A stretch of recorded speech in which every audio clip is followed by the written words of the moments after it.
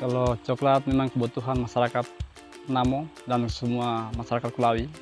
Karena coklat memang bisa menjamin eh, kebutuhan kita sehari-hari. Sebelumnya sebelum saya sambung samping perawatannya setengah mati.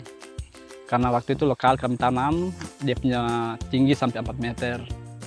Ketika pemerintah provinsi ambil kesimpulan untuk sambung samping kita ikuti, itu yang paling bagus.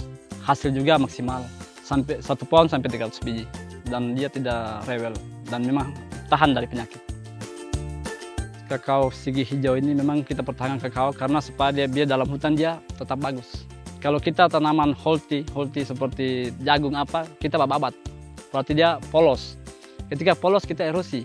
Jadi kita pertahankan kakao. Ini juga bisa menghasilkan, bisa kasih sekolah anak-anak dari kakao bisa.